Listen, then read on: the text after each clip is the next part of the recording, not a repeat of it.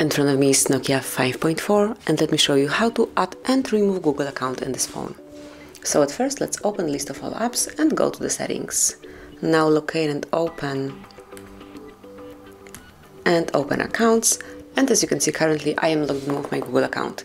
So and this is my email address connected with my Google account and if you'd like to remove current Google account just mark it. And tap on remove account. If you want to delete it, tap on remove again to confirm. And that's it. Then whenever you would like to add your account for the first time or maybe re-enter the old one, just go to accounts again, make sure that you are connected to Wi-Fi and click on add account.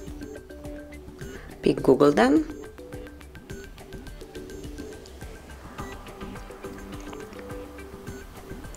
And let's enter email address at first or phone number, whichever is connected with your Google account. In my case, it's email address.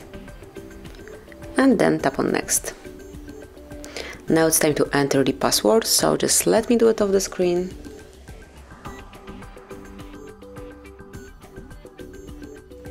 And as only the password is entered, oh, sorry, just tap on next. And here we've got Google Terms of Service, Google Play Terms of Service, and also Privacy Policy. And if you do agree with all the terms and conditions, just tap on I agree. So as you can see, backup to Google Drive is active. Here we've got just the confirmation and accept. Okay, and here's some secret code. Uh, doesn't matter. So here we are, a Google account has been added and you can smoothly use it. As you can see, accounts for owner of this email and this is it, this is how you can add and remove Google account in your Nokia 5.4. Thank you for watching, please subscribe our channel and leave the thumbs up.